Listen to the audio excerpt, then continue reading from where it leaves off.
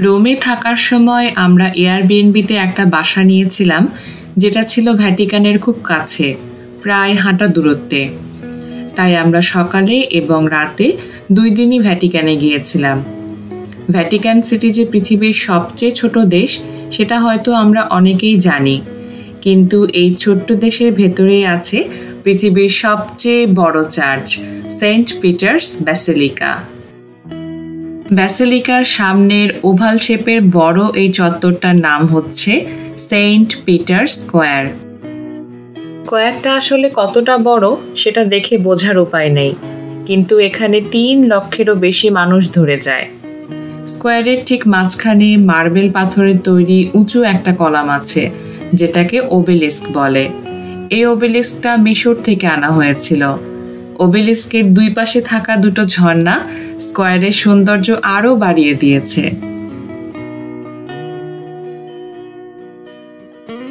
স্কোয়ারের দুই পাশে ঘিরে আছে দুইটা কলোনেড যেগুলো অনেকগুলো কলাম দিয়ে তৈরি।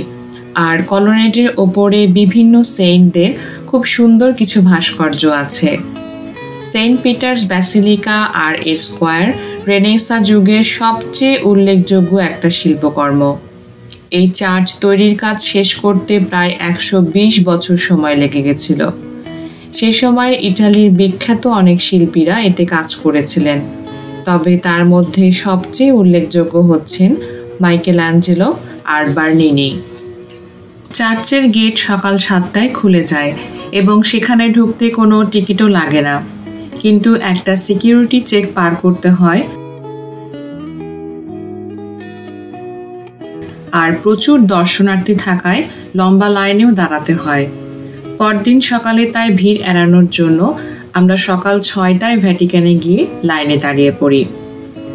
সকালে সূর্যের সোনালি আলো যখন চার্চের ওপরে এসে পড়ে, তখন সেটাকে সত্যিই অন্যরকম সুন্দর দেখায়। আমাদের মতো পর্যটকদের কাছে ভ্যাটিক্যান হয়তো শুধুই একটা ট্যুরিস্ট স্পট, কিন্তু আমাদের সাথে লাইনে এমন অনেকে ছিলেন যাদের এখানে আসার প্রধান উদ্দেশ্যই হচ্ছে চার্চে বসে কিছুক্ষণ প্রার্থনা করা।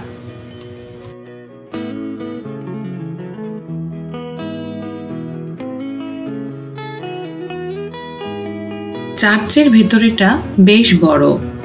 এই ডোমটাও পৃথিবীর সবচেয়ে বড় আর উঁচু ডোমগুলোর মধ্যে একটা, যেটা নকশা করেছিলেন মাইকেল অ্যাঞ্জেলো চার্চের সিলিংয়ের দিকে তাকালে যে সুন্দর কার্ভিংস চোখে পড়ে, তার অনেকটাই সোনা আর ব্রোঞ্জ দিয়ে তৈরি। আর চার্চের ভেতরটা ভর্তি মার্বেল পাথরের সুন্দর সব ভাস্কর্য দিয়ে। সেন্ট পিটার ছিলেন খ্রিস্টান ধর্মের একজন অনুসারী এবং প্রচারক। শুরুর দিকে খ্রিস্টান ধর্ম প্রচার করা খুব কঠিন ছিল। কিন্তু সেন্ট পিটার ছিলেন সাহসী আর নিজের ধর্মবিশ্বাসের প্রতি অটল। এজন্য পরে তাকে ক্রুসিফাইড করা হয়।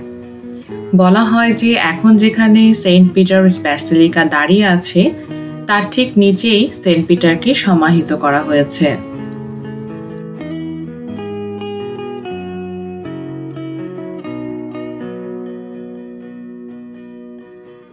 ব্যাসিলিকার এই উঁচু ডোমে সিঁড়ি বেয়ে বা এলিভেটরে করে যাওয়া যায়। আর সেখানে থেকে রোম শহরের অনেকটা অংশ দেখা যায়।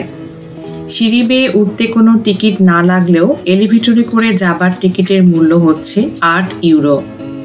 তবে আমাদের কাছে সে সময় কোনো ক্যাশ ইউরো ছিল না, তাই আমরা আর পরে উঠতে পারিনি। রীতি অনুযায়ী রোমের হিস্টোরিক সেন্টারের কোনো বিল্ডিংই সেন্ট পিটার্স ব্যাসিলিকার চেয়ে উঁচু হতে পারবে না, এবং এটা আজও মেনে চলা হয়।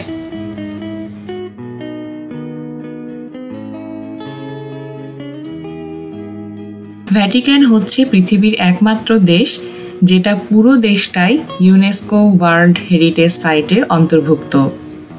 পৃথিবীর অন্য সব দেশের মতোই ভ্যাটিকানেরও নিজস্ব সরকার ব্যবস্থা রয়েছে। এখানে পোপ হচ্ছেন সর্বময় ক্ষমতার অধিকারী এবং ক্যাথলিক চার্চের প্রধান। প্রতি রবিবার এবং বুধবারে সেন্ট পিটার্স চত্বরে জড়ো হওয়া মানুষের উদ্দেশ্যে পোপ শিক্ষামূলক আর উপদেশমূলক ভাষণ দিয়ে থাকেন। এ সময় পুরো চত্বরটা প্রচুর মানুষে ভরে যায়। তাই এই দুই দিনে ভ্যাটিকানে গেলে ভালো মতো ঘোরা যায় না।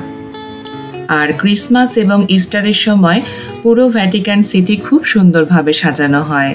সেন্ট পিটার স্কোয়ারে তখন মানুষের ঢল নামে, আর সেই অনুষ্ঠান টিভিতেও প্রচার করা হয়। ভ্যাটিকান ঘুরতে আলাদা কোনো অনুমতির প্রয়োজন হয় না ইউরোপে সেনজেন ভিসা থাকলেই হয়। আর রোমে আসলে ভ্যাটিকান আসলে একটা বোনাস ট্যুর